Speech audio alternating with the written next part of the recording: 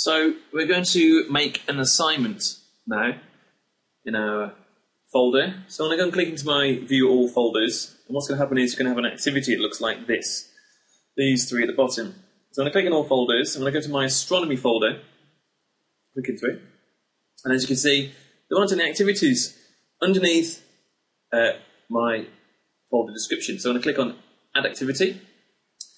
I'm going to select an activity type. For this particular task, which is going to go into an assignment. You can import from your eLocker if you already made something you want to reuse it. A little bit more on that later. So the assignment title is going to be uh, astronomy. Short description is going to be astronomy, unless of course you want to change it. And keywords, yes, astronomy. Uh, set dates is quite handy. Uh, you can also import a file that you might want to reuse uh, again from your, or you can upload PowerPoint, Word document, picture, anything you want. I personally prefer to embed everything. So what we're going to do is we're going to embed uh, a video from YouTube. So I know that Carl Sagan, the pale blue dots, is quite a nice beginning uh, to an astronomy topic. And I'm going to use the URL just like I did with the picture before. Paste in the, the URL,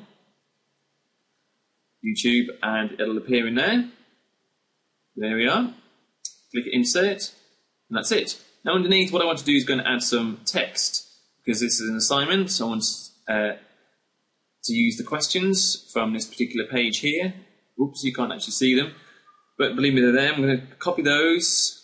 Astronomy for Kids underneath, go and paste those in, why does the moon shine, etc, etc, etc. And so later on I can go and edit this however I please. On the featured activity, this tick box, I'll show you what this does in a moment. If you don't feature it, it won't appear in the folder there. It won't be a featured activity. It will be an activity when they click into it, but it just won't be a featured activity. And that'll appear on your front page as well. And there we are. If I go and preview it, that's what it looks like.